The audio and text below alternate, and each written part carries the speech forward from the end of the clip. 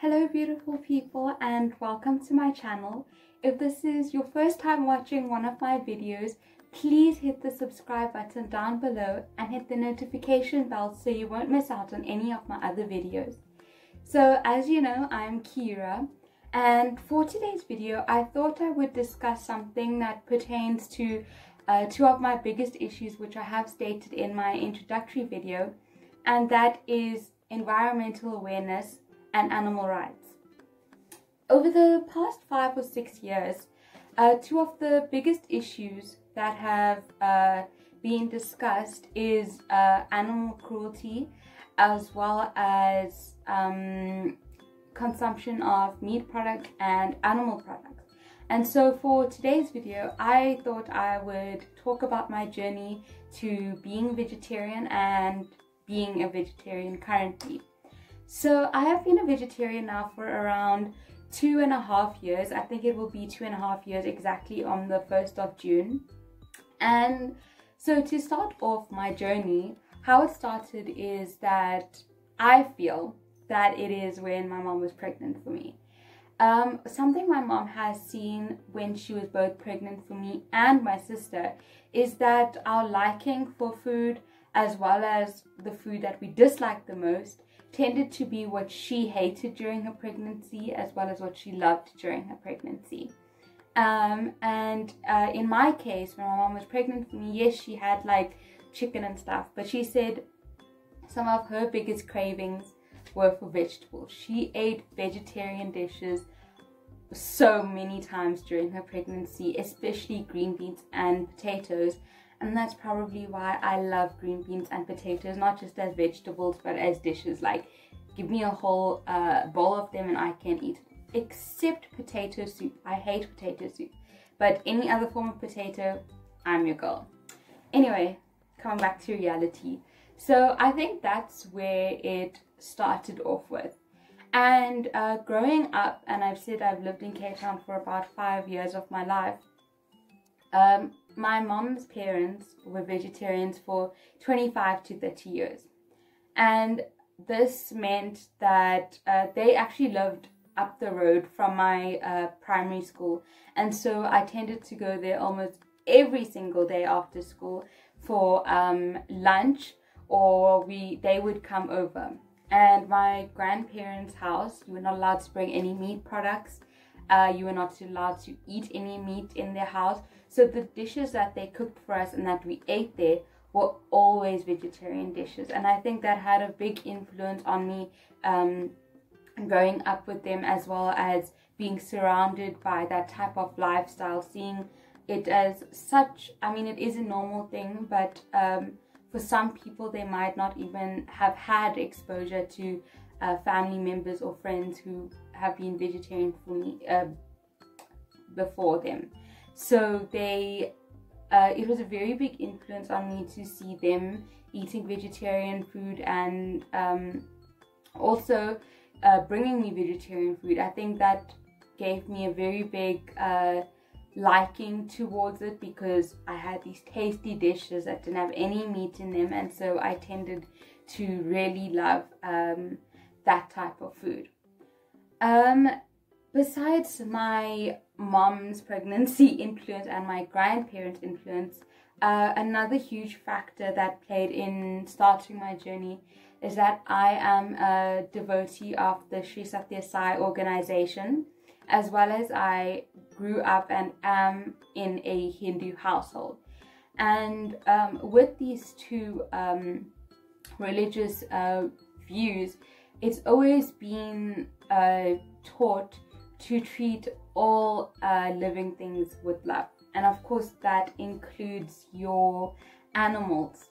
And um, for both of them, uh, for religious um, occasions, for special occasions, um, for fasting during a month of Purattasi, which runs from October, from 17th of September to 17th October, it's a whole month of fasting and we fasted also on Mondays and Thursdays every single week uh, and occasionally Tuesdays. Now, the way we fast is we do not eat any meat products, uh, not meat products, my bad. We do not eat any meat uh, including eggs.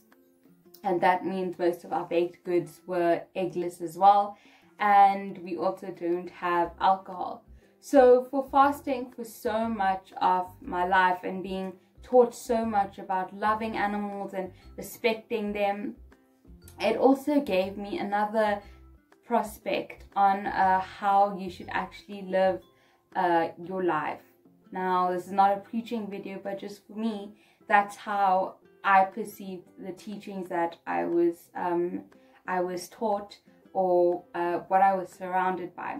And so those three factors, I think, kick started um, this questioning about uh, uh, ethical eating and um, my love for vegetarian food um, and the ethical responsibility towards food.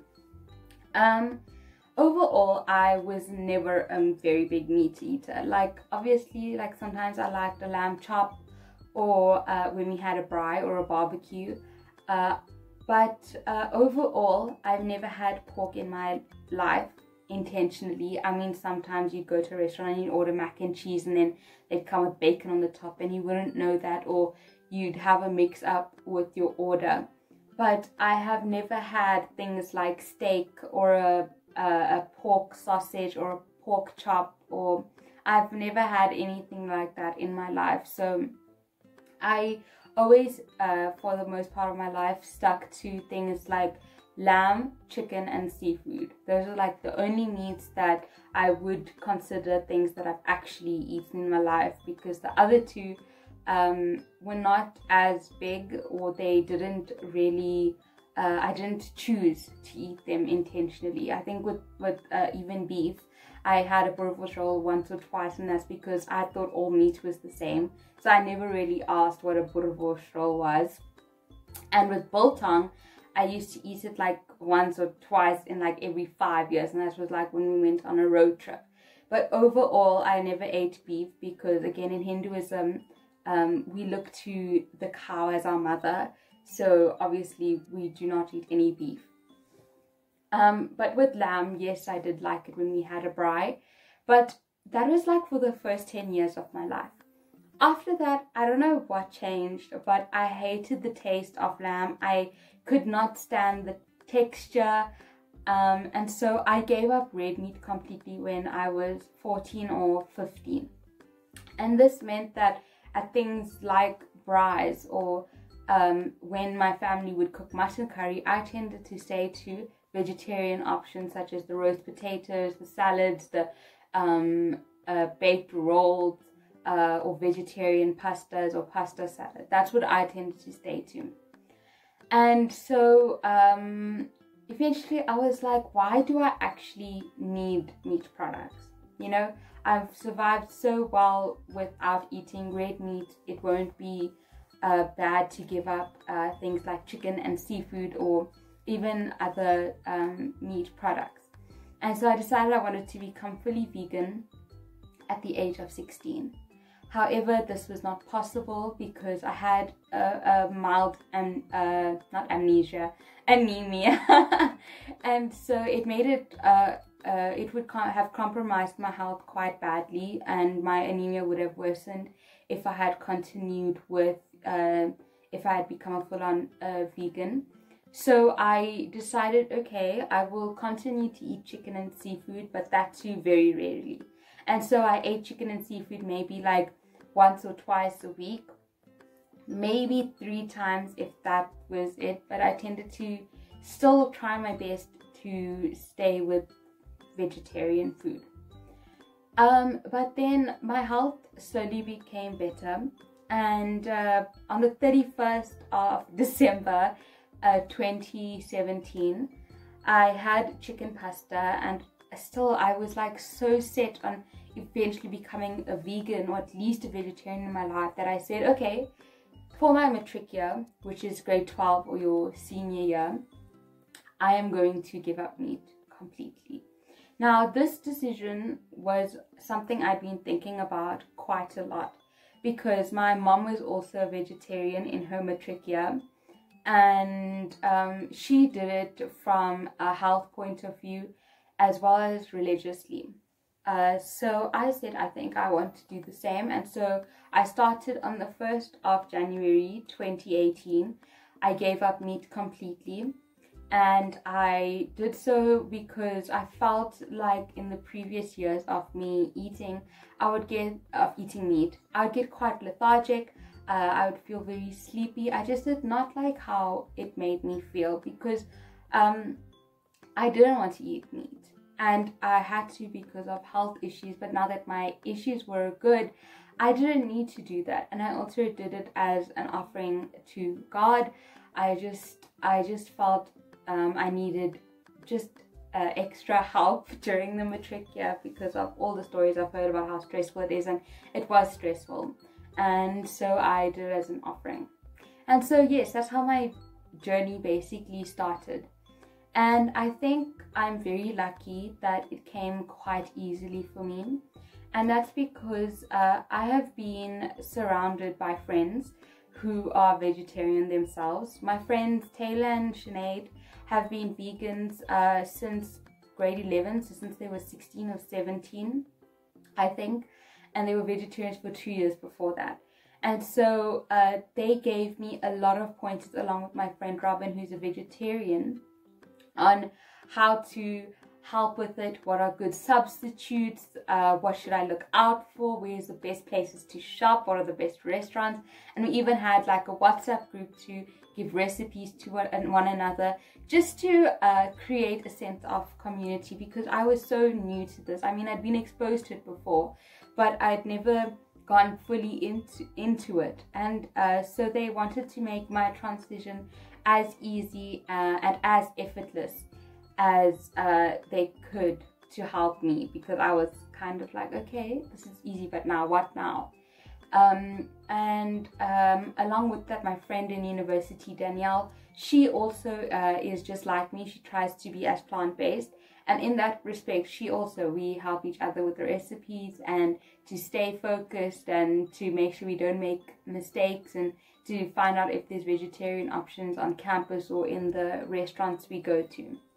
Another factor that helped my transition become uh, quite easy is that my mom has now for the past 12 years been something I call a half vegetarian and that's because she only eats um, seafood and eggs and that too very occasionally. So for most of the time our meals tend to be the same thing and she tends to make vegetarian options unless like she's feeling for meat then she'll make a vegetarian i mean not meat fish or eggs. She'll make a vegetarian option and then just add in the seafood that she wants uh, separately um, but also with my grandparents and just indian people in general being such a huge majority of the vegetarian uh, community we have millions of tasty recipes on uh, that are vegetarian, such as like butter beans or paneer. Uh, um, uh, I'm going completely blank now, but we have tons of vegetarian um, meals which we have that makes it tasty and not forcing me to have like a salad every time I eat a meal. So that also made it easy because we knew exactly what to cook um, since we had already been fasting previously or since there are just recipes which have been passed down during during um, uh, the different generations. And then I think the third factor that helped me to become more on the plant-based side rather than just being a, a, vegetarian is that I never liked eggs. So I do not eat the phys- uh, physical eggs. I mean, I'll have it if it's in a cake or a biscuit, but I do not eat eggs at all.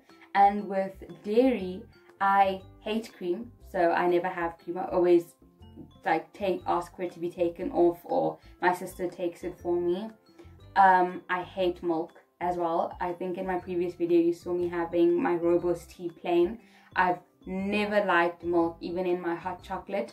Only time I had milk was maybe like a teaspoon or so in my Weet-Bix, but otherwise cereals like um, and Cheerios, I tended to eat just plain and the only dairy thing I actually eat is things like um, uh, ice cream or if it's in like the icing of a cake or something like that.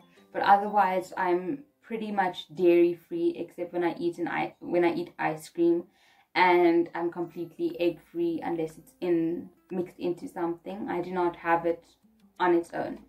And so that is basically my journey to being a vegetarian. It's something that I wanted to share for a very long time because I do get questions when I ask people, don't you uh, miss meat? How did you transition?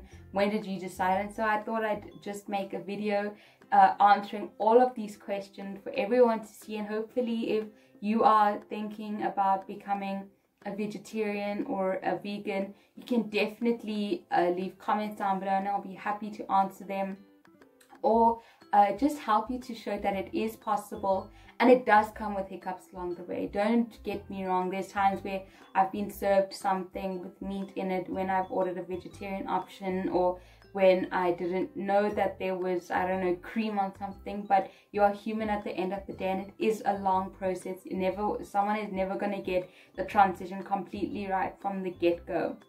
Um, but uh, even if you aren't thinking of becoming a vegetarian, I hope that this was entertaining and informative. Um, in no way, just disclaimer, in no way am I trying to change um, how you eat or what your diet is. This is my own personal journey and opinion uh, as to why and how I became a vegetarian, but I am in no way telling you that you have to change or that you're a bad person if you eat meat because at the end of the day, it's everyone's choice. Um, so yes, that brings me to the end of my video. I really hope that you enjoyed it.